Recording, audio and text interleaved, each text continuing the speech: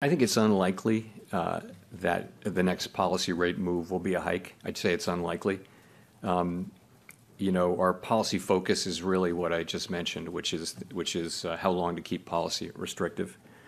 Muy buenas noches a todos. Quería explicar dos datos importantes que se han dado hoy, analizar los mercados también y todo lo que está pasando, pero básicamente hoy se han publicado dos datos muy relevantes. Lo primero, el QRA final, la composición final del Tesoro estadounidense, de cómo va a endeudarse en los próximos trimestres, y por otro hemos conocido la reunión de la Reserva Federal, donde sabemos que los tipos de interés se van a mantener iguales, o no creo que haya sorpresas, todo el mundo lo esperaba, pero por otro lado se ha anunciado algo que Powell ya había dicho en la anterior eh, reunión del FOM, que se anuncia el QT tapering. Y básicamente el QT ya sabemos que es la reducción del balance, eh, poco a poco como se va eh, reduciendo ese balance que vienen aplicando en los últimos años, pues el QT tapering sería reducir la velocidad a la que se reduce el balance. Por lo tanto, hacer un QT más moderado, más suave.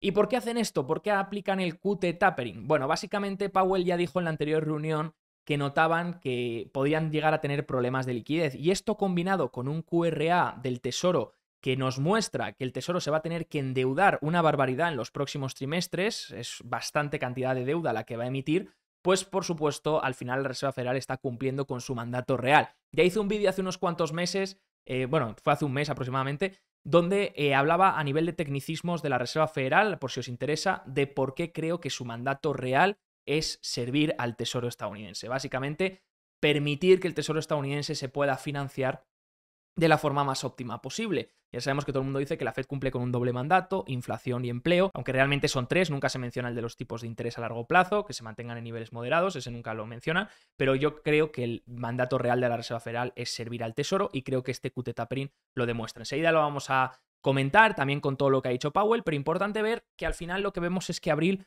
eh, ha sido un mes muy débil, de hecho abril ha cerrado en negativo, eh, mayo ha empezado raro porque parece ser que cuando se ha anunciado el QRA y con lo que ha anunciado la Reserva Federal del QT tapering, que ya lo iban a aplicar, eh, pues parecía que el mercado lo celebraba, pero luego a última hora se ha girado. Al final lo que vemos en el mercado es una debilidad, una debilidad que más o menos se palpa desde abril, eh, aproximadamente, que es cuando se empezó a perder esta, esta, esta media de 21 sesiones, se empezaron a acumular, recordáis, días de distribución, y yo creo que esto es por la liquidez. La liquidez viene disminuyendo, enseguida vamos a ver el gráfico, debido a que hay pago de impuestos. Abril entrábamos en, una, en un mes eh, que va hasta el 10 de mayo, 15 de mayo aproximadamente, hasta que se liquiden todos los pagos, donde se iban a drenar del mercado más de 300 mil millones de dólares en pago de impuestos. ¿Por qué? Pues porque ha sido un año muy bueno en bolsa, la gente ha acumulado mucho, muchas ganancias y pues toca pagar impuestos, ¿no? Toca pasar por caja. Y eso es un drenaje de liquidez del sector privado que va a la cuenta del tesoro en la Fed, a la TGA.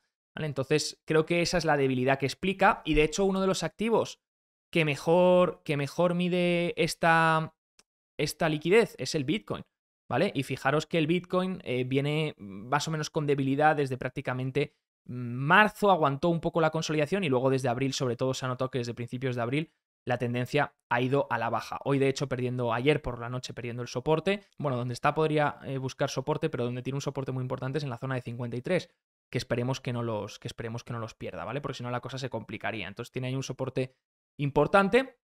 Vamos a ver si lo, si lo aguanta. Y básicamente el Bitcoin demostrando que, bueno, que es el activo más sensible a la liquidez, ¿no? Entonces muestra que hay una falta de liquidez en el mercado que viene de hecho por eso. Si os fijáis, de hecho, eh, aquí tengo el gráfico de la liquidez. Básicamente lo estoy midiendo solo la, la liquidez de la Fed, ¿vale? Normalmente esto tendríamos que medir la liquidez global para ver realmente el gráfico bueno. Pero aquí estoy midiendo la liquidez de la Fed, básicamente cogiendo los activos, restando el RPP y restando la TGA. ¿Vale? Y como vemos, desde abril más o menos ha empezado a girarse. Venía más o menos en una tendencia alcista desde finales de 2022, prácticamente, obviamente con vaivenes, pero más o menos subiendo. Y desde, me quedo sin batería, y desde abril viene girándose ligeramente, ¿no? Esa, esa liquidez y vemos que eso pues se ha trasladado un poco a los activos financieros. No es una relación perfecta, ¿vale? Ya lo sabéis, no es una relación perfecta. Hay gente que ni cree en la relación de la liquidez de la Fed, pero bueno, está claro que obviamente eh, se, está, se, está, girando la liquidez. ¿Por qué se está girando la liquidez? Ya vamos a volver al índice. Eh, eh, fijaros, estos son los pasivos de, la Reserva Federal, ¿vale? Por un lado tenemos los activos, que son los bonos que tiene, y por otro lado tenemos los pasivos, ¿no? En, los pasivos, ¿qué estamos viendo que está pasando? Pues eh, como están, como la Fed está haciendo un QT, está reduciendo los activos, ¿vale? Ahora los va a reducir a menor velocidad, pero está reduciendo los activos. Entonces, tiene que reducir el pasivo de algún lado, porque pasivo y activo se tienen que equilibrar. Entonces, ¿de qué, qué reduces del pasivo? Bien, pues desde noviembre lo que reducía era el repo inverso, que era el dinero que tenían aparcado los fondos monetarios en la Fed. Y de ahí eh, se ha sacado el dinero para financiar al Tesoro, para comprar esas letras que el Tesoro está emitiendo, ¿no? Pero claro, ahora que tienes el RRP que más o menos se ha drenado, todavía no se va a drenar, por supuesto, pero está ahí, y la TGA que está incrementando, porque recordáis, la TGA es la cuenta del Tesoro y ahora se está, fijaros este piquito, porque esto no está actualizado a día de hoy, pero el piquito es porque poco a poco se están, se están, está incrementando su, TGA por el pago de impuestos, ¿no? Pues ya ha empezado esto a afectar a las reservas. De algún lado tiene que venir eh, ese drenaje y pues por supuesto ha empezado a girarse las reservas bancarias. Entonces eso ya lo adelantó Powell. En la anterior reunión dijo que tenía miedo de que las reservas bancarias pudiesen empezar a reducirse en el sistema y que por eso iban a aplicar el QT tapering. De hecho, aprovechando, vemos aquí el comunicado de la Reserva Federal. Fijaros, dicen que bueno, que todavía lo han combinado con un montón de frases diciendo como que ven que la inflación sigue alta, ¿vale? Dicen que hay poco progreso hacia la inflación del 2%, eh, ta, ta, ta, que por eso mantienen los tipos de interés donde están. Y dicen, em, empezando en junio, el comité va a reducir la velocidad de eh, ese, ese, QT, ¿no? De las, los bonos pasan de 60 mil millones al mes a 25 mil millones de reducción y los eh, bonos hipotecarios se mantienen sin cambios. ¿Vale? Así que, bueno, como veis, pues ya se ha empezado a reducir ese QT, esa reducción del balance. ¿Con qué fin?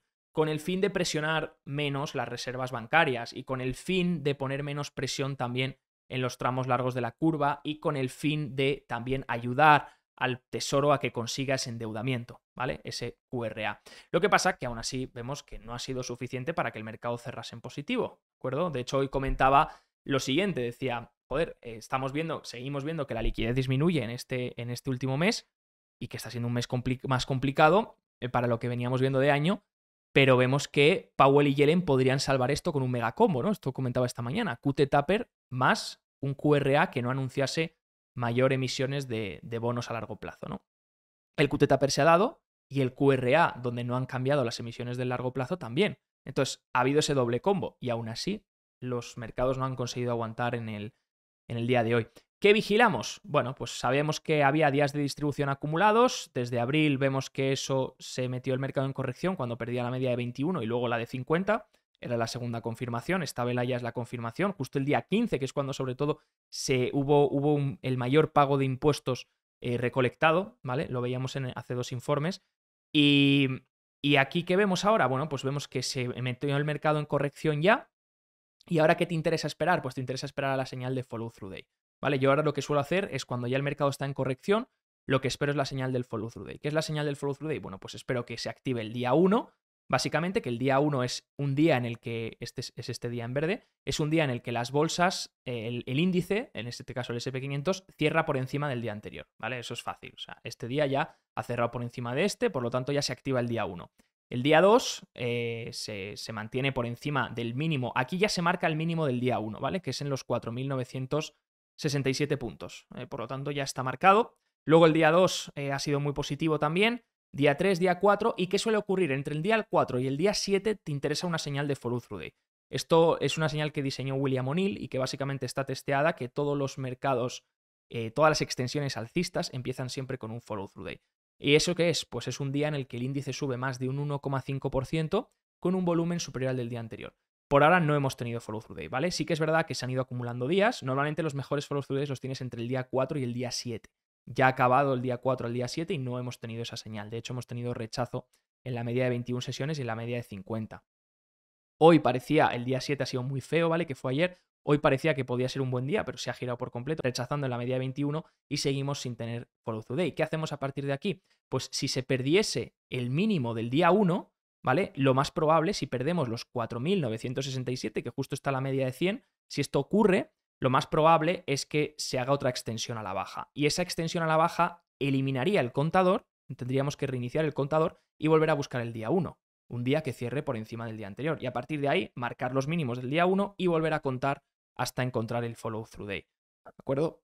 Así que ahí es cuando llegará un poco el... No todos los follow through days, de hecho, funcionan. Eh, un tercio fallan. O sea que no solo es solo encontrar el follow through day, sino luego además es hacer un seguimiento de que no haya días de distribución. En principio, a lo mejor a partir de mayo esta debilidad debería, debería ir evaporándose. A medida que ya termina esa temporada de, impuestos y que en principio, como os digo, eh, tanto el QT Taper como el QRA eh, han sorprendido para bien en este sentido. ¿no? Ya hemos comentado un poco la Fed, a lo mejor algunas frases importantes de Powell han sido, es muy improbable que la siguiente, esto ha sido muy increíble, ¿eh?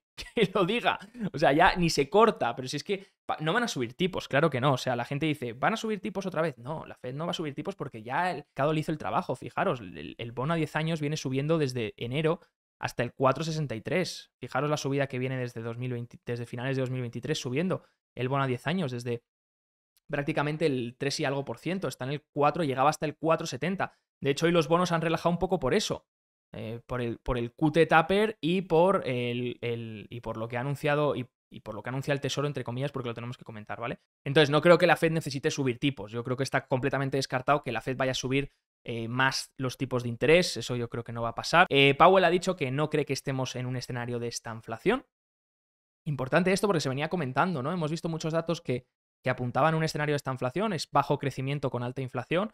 Y fijaros porque teníamos el, el, PIB, aunque el PIB no fue tan desastroso porque sobre todo fue por las exportaciones, ¿vale? El consumo se mantiene fuerte. Pero, pero tema, por ejemplo, del PMI hoy que hemos tenido manufacturero, eh, ha mostrado una caída en, las, en, los nuevos pedidos y una subida en los precios. Entonces, bueno, la gente estaba preocupada por un escenario de esta inflación. Y ha dicho Powell que no cree que eso sea así, que no cree que estemos en un escenario de esta inflación. También te digo, ¿qué va a decir, no? Eh, dice que las elecciones no es parte de su pensamiento. ¿Qué va a decir? Eh, hay también que, bueno, que una, un, una debilidad mayor e inesperada del mercado laboral podría forzar las bajadas de tipos, porque le han preguntado, ¿y qué hace falta para que bajéis tipos? Pues una debilidad del mercado laboral podría ser una de ellas, ¿no? Eh, la Fed no está satisfecha con la inflación al 3%, obviamente lo tienen que dejar claro, y no está claro eh, cuánto tiempo tardarán en empezar a bajar tipos, ¿vale? Porque ha dejado muy claro que quieren mantener los tipos ahí mientras la inflación sea elevada. Entonces, ¿qué tiene que ver todo esto con el QRA? Bueno, conocíamos el lunes que el Tesoro se va a endeudar a un nivel muy elevado, ¿vale? El Tesoro espera eh, endeudarse más en el, segundo trimestre de lo que se había esperado anteriormente, ¿vale? 41 mil millones más de lo anunciado en el segundo trimestre. Y nos han anunciado también cuál es eh, la expectativa de endeudamiento para el tercer trimestre, de julio a septiembre. 847 mil millones, ¿vale? Eh, suena muy elevado, sí, lo que pasa es que el mercado esperaba un poco más. Entonces, bueno, estamos viendo que es, eh, pero es elevado, es muy elevado. Entonces, claro, esto dices, vale, es oferta que va a tener que salir al mercado. ¿Y quién absorbe esa oferta de deuda? ¿no? ¿Cómo se absorbe? ¿Esto puede poner más presión en los intereses? Sí, puede, puede, poner más presión en los intereses, pero sobre todo le interesaba, pero eso ya lo sabe el Tesoro, ¿no? Entonces, eh, ya saben que los intereses a largo plazo han subido mucho y tampoco al Tesoro le interesa que los intereses a largo plazo se vayan al 6%, porque podrían forzar eh, alguna quiebra de un fondo de pensiones o de otro banco regional o de lo que fuese, ¿no? Entonces, ¿qué han hecho? Que la emisión, que esto se ha conocido hoy, la composición, las emisiones en los tramos largos, en los cupones, que de hecho van desde 5, desde 7 años, bueno, la de 7 años lo han incrementado un poco, pero la de 10 años a 30 años, bonos de 10 años a 30 años, han mantenido la misma composición de emisión. Fijaros, febrero 42, 42, eh, marzo 39, junio 39, abril 39, julio 39, y así en todos los tramos. ¿Qué quiere decir esto?